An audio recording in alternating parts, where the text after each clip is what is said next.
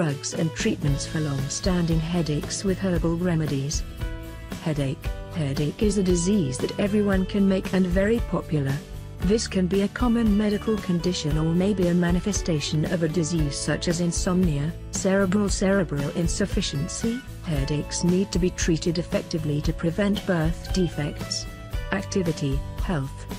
In folk often use some of the familiar natural herbs have the effect of treating the disease immediately. You can refer immediately to the treatment of simple headache pain below to apply treatment for yourself. Effective treatment of aching headache with effective herbal medicine is usually done in various forms, such as using curage, fillings, oral medications, and even nasal drops. Specifically you can apply in the following ways. 1. Herbal treatment for headaches. Material.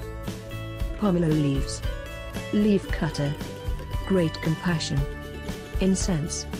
Leaf lemongrass. Lemon leaves. Put the pot into the pan, boil the water for about 15 minutes to boil the essence of the leaf dispersed. Using this water to heal has the effect of relaxing, comfortable mental circulars that reduce headache very well. This tip is popular in folk for high efficiency and applies to cases of flu. 2. Cover the head with the leaves. Prepare. Pomelo leaves. Onion. The patient combined with pomelo leaves, onions are crushed and then applied to the two sides of the temple, then use the tape fixed. Leave it until the headache is very effective. 3. Drugs from herbal cures for headaches. Prepare. Plastic sun. This way is very simple. Whenever headache, you just take plastic resonated on the paper cockroaches on both sides of the temples, combined with 5 milliliters of plastic water before bed is very effective. 4. Cumi grain. Prepare. Turnip. Camphor. How to use fresh radish to wash, crushed filter juice, then add a little bit of slurry stirring up and then use to small nose.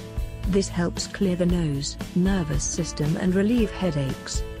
5. Relieve headache due to fever. Prepare. Scent leaves. Fresh cassava.